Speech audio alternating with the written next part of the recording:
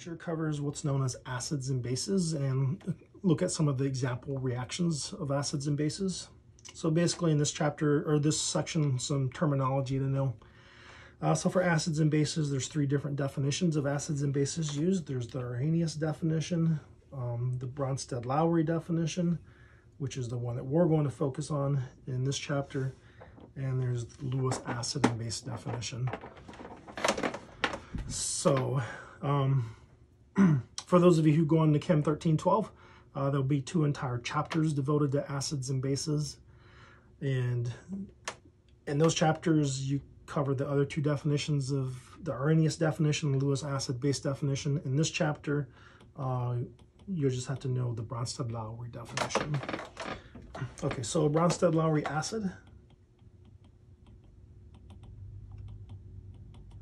is anything that donates a proton or an H plus or hydrogen in a reaction. And then the base is the opposite. It's anything that accepts a proton or H plus or accepts a hydrogen in a reaction. Okay, so let's look at a couple of a few examples. Okay, so if we take this molecule,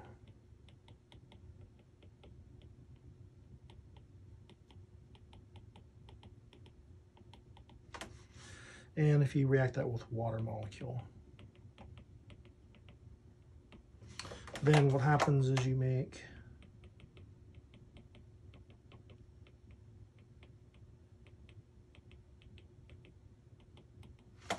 make that and you make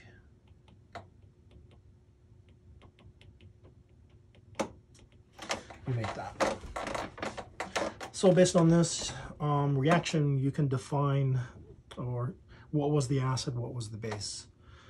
Okay, so if you notice in, in the reaction, this molecule lost, it lost a hydrogen, it lost that one. So this molecule then must be the acid. And this molecule gained a hydrogen, so it is a base. Okay, so often in chemistry, especially once you get on to organic chemistry, we try to depict how this reaction happened. Um, so we'll write what's called a mechanism.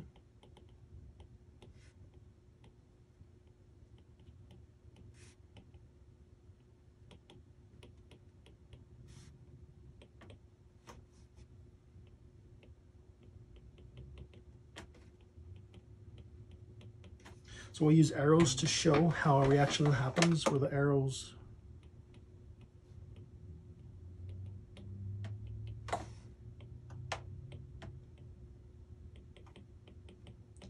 uh, represent movement of electrons. And again, so those of you go into organic chemistry, you'll be doing this all the time. You'll be writing mechanisms for reactions.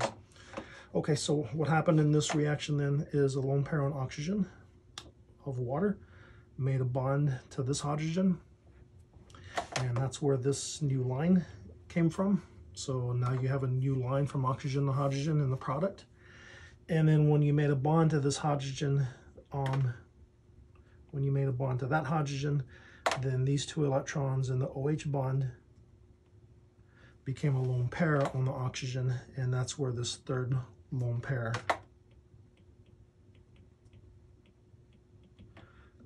came from. It came from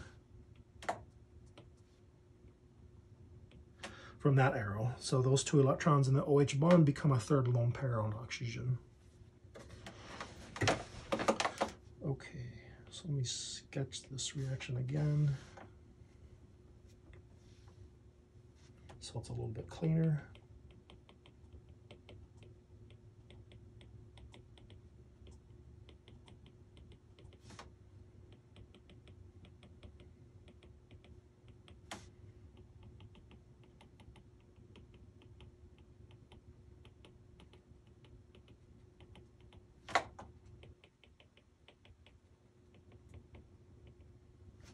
Okay, so that was the reaction. And so this oxygen is now negative one. If you calculate the formal charge, right, six valence electrons on oxygen, minus six dots in one line.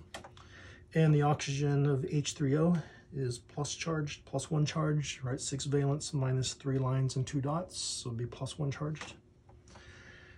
And again, so how this reaction happens is those lone pair take that hydrogen and these electrons in the OH bond become a lone pair on th that oxygen.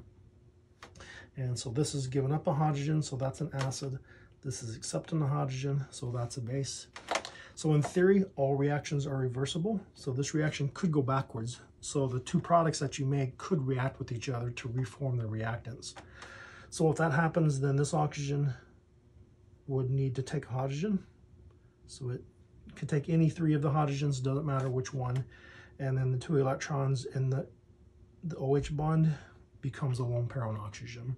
So if you notice the arrow starts on the bond and the arrow ends on the atom, that means you're taking those two electrons in the bond and dumping them onto the oxygen atom as a lone pair. So if it goes backwards, oxygen had one lone pair.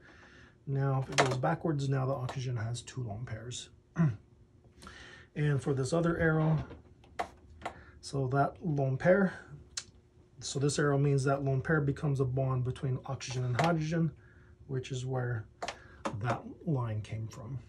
Okay, so since the reaction is reversible, we could classify the reverse reaction as something being an acid and something being a base.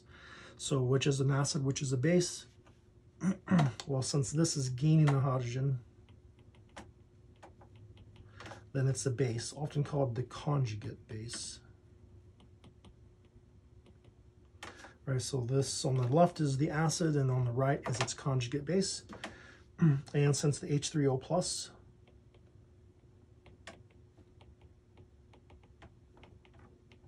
is losing a hydrogen, then it's an acid, often called the conjugate acid. So this is the base, and this is its conjugate acid.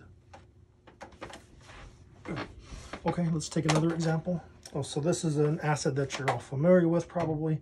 Uh, this is called acetic acid, which is also vinegar, which you find in pickle juice, for example.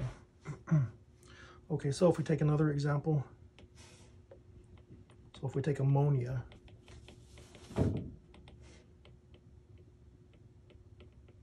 and let it react with water. Oops. Right, so at this point, I wouldn't expect you to take two compounds and be able to predict the product that they make. If you go into organic chemistry, that's something you would have to do in organic chemistry is predict products of reactions. In this chapter, I'll just tell you what the products are.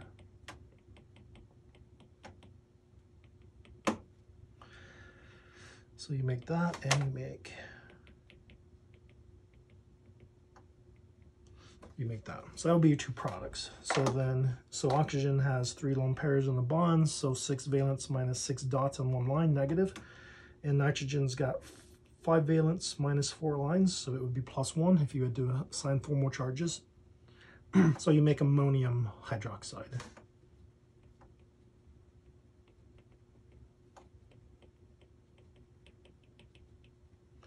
Okay, so I would give you the reaction and just ask you to label the acids and bases. Okay, so what's an acid, what's a base? So NH3 um, has three hydrogens. It gained a hydrogen.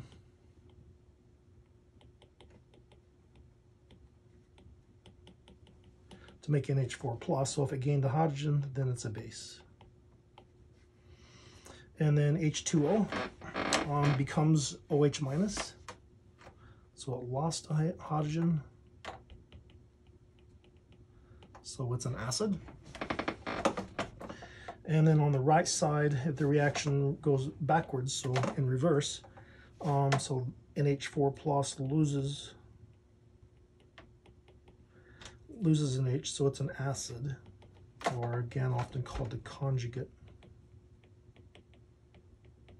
acid of NH3. And then hydroxide gains NH, so it's a base or again, oftentimes called the conjugate. Conjugate base. so that's all that you would have to basically do in this section of the chapter is I give you a reaction, you tell me what was the acid, what was the base.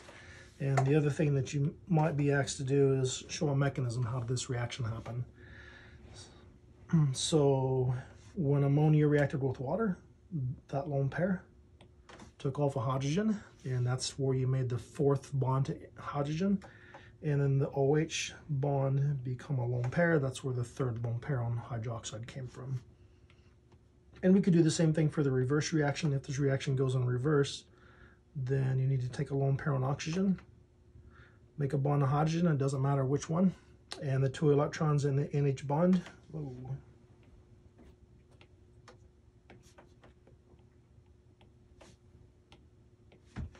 So the two electrons in the NH bond, so the arrow starts on the bond and ends up on the atom. That means those two electrons are dumped onto nitrogen to make a lone pair.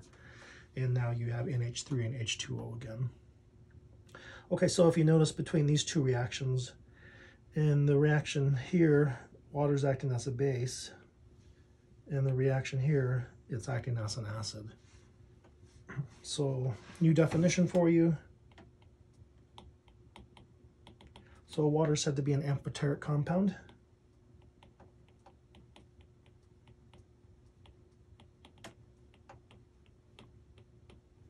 And that is, that is simply compounds that can act as an acid or a base. It just depends on what they're reacting with. Okay, so that's all that you would have to know about acids and bases.